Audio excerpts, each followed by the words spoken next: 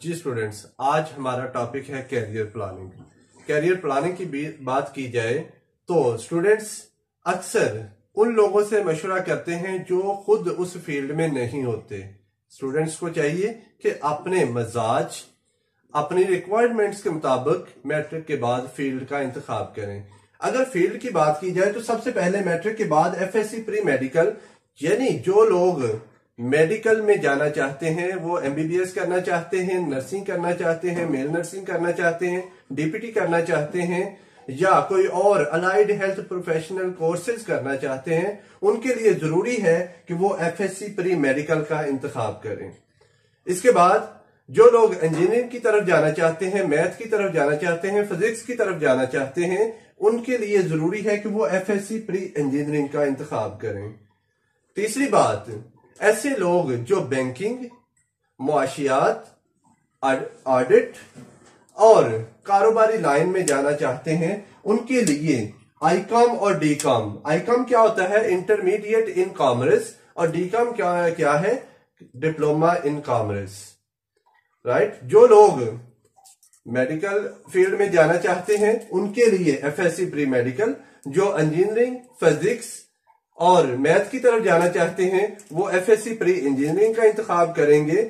اس کے بعد آئی کام اور ڈی کام یہ دو جو پروگرام ہے یہ بینکنگ، آڈٹ اور کامرس کے لیے ہیں۔ اس کے بعد جو لوگ کمپیوٹر سائنس میں جانا چاہتے ہیں، کمپیوٹر سائنسز کی بہت وسیع کیٹیگریز ہیں۔ ان کا بنیادی بنیاد اسی بات سے ہے۔ I C S intermediate in computer science وہ آئی سی ایس کریں گے اور اس کے بعد اپنی اسپیشلائزیشن کی طرف جائیں گے۔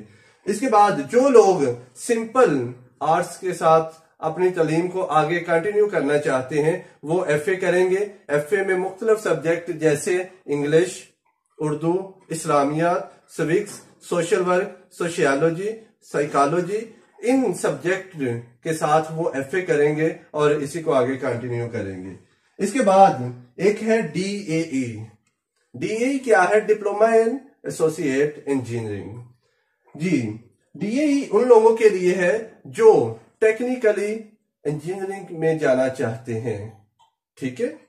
تو آج ہم نے کیریئر پلاننگ پڑھا۔ میٹریکولیشن کے بعد میٹریکولیشن کے بعد آپ لوگوں نے F S C pre medical F S C pre engineering I com D com I C S F A اور ڈی اے ان میں سے کس کا انتخاب کرنا ہے؟ سب سے پہلے انتخاب کرنے کے لیے سب سے پہلے آپ اپنی ریکوائرمنٹس دیکھیے۔ آپ اپنی ڈیسٹینیشن دیکھیے۔ آپ کیا بننا چاہتے ہیں؟ آپ کیا کرنا چاہتے ہیں؟ آپ کی منزل کیا ہے؟ اس بات کو سب سے پہلے فیصلہ کیجیے کہ آپ کی منزل کیا ہے۔ پھر اس کے بعد راستے کا تعین کیجیے